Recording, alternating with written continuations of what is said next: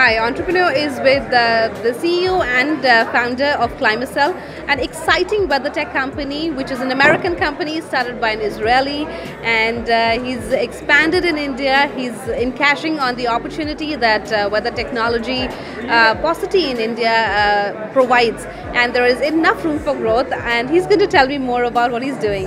Hi. Hey. I want to know from you, uh, ClimaCell in is is one of the companies into the enterprise software space. I understand you also have an app, and one of your early investors was Ratan Tata.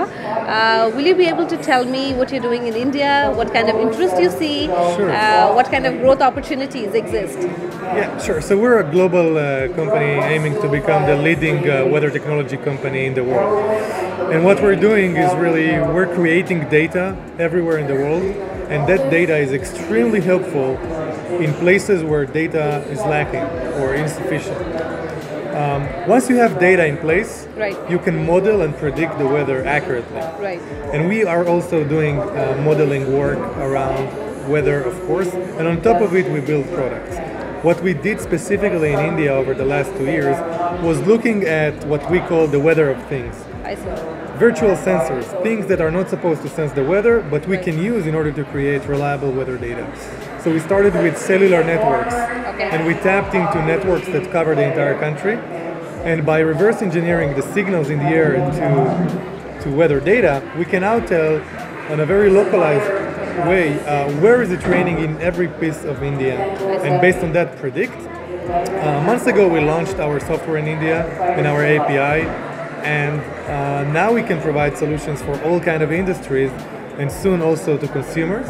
We announced our uh, global forecasting system, and it works in over 35 cities in India. I we see. provide 24 to 48 hours alert of localized events uh, with very high resolution and accuracy. I see, I see. So, who are your uh, customers?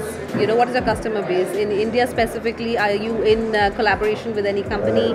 Uh, who are uh, your potential partners? So our potential partners are, of course, on the airline space, on the agriculture space, and specifically on the renewable and energy space. Um, India is very strong on the renewable space, and we've been talking to a few customers in that area.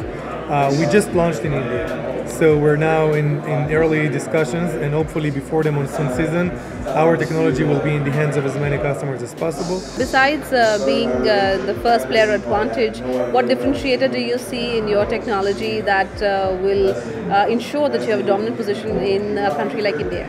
So it's all about the data. And uh, the traditional approach is to come and, and install sensors and then maintain them.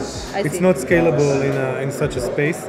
It's not scalable when farmers don't have um, the option to pay for their premium like they can in developed countries. So our approach is basically reducing the cost and making the technology installation much more scalable. Right. Because if everything is software based, then you can do it rapidly.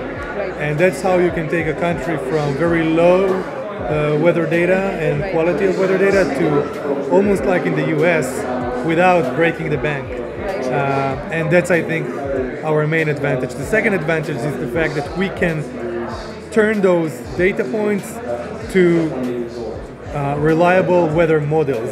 The data assimilation piece, how you take this data and make it valuable for the forecast, is something very unique to us.